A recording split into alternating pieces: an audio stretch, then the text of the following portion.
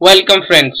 In this video we shall learn some results on parallel and intersecting lines. And here is the first result. This means two distinct lines cannot have more than one point in common. This is the first result. And let us come to the second result. Two lines which both parallel to the same line are parallel to each other. Suppose we have a line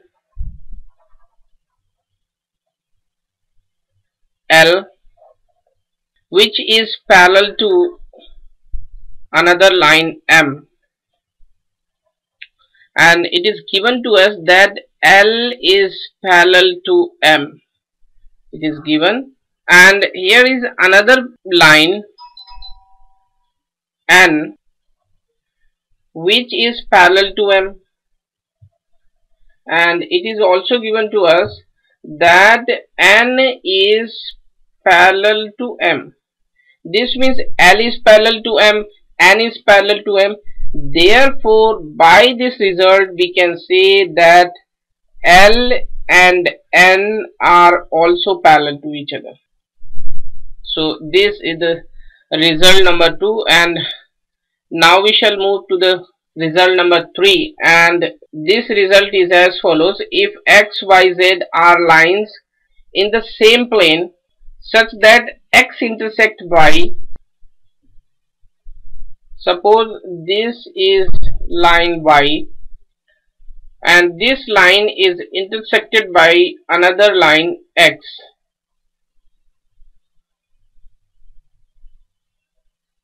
And it is also given to us that y is parallel to z. There is another line z which is parallel to it is given to us that this line z is parallel to y. Therefore we can say that x intersects z also. You can see here that this line x intersects the line z here. So this is the result 3 and now we shall move to the result number 4 and this result is as follows. If L and M are intersecting lines suppose we have a line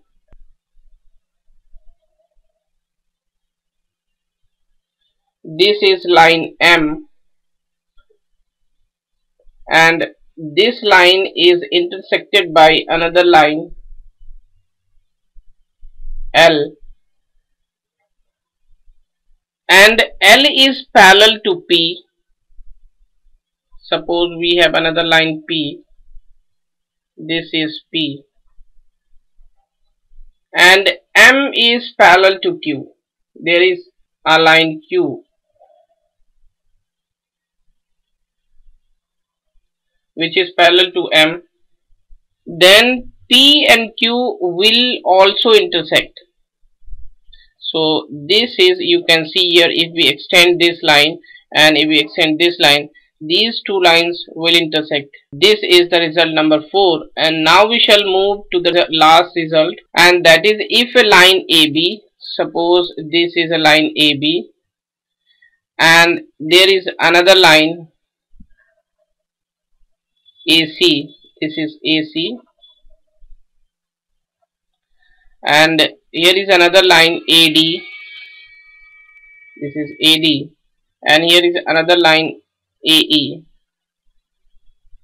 and this line is all these lines are parallel to another line L. Suppose this is line L. Then points A, B, C, D and E are collinear. You can see it here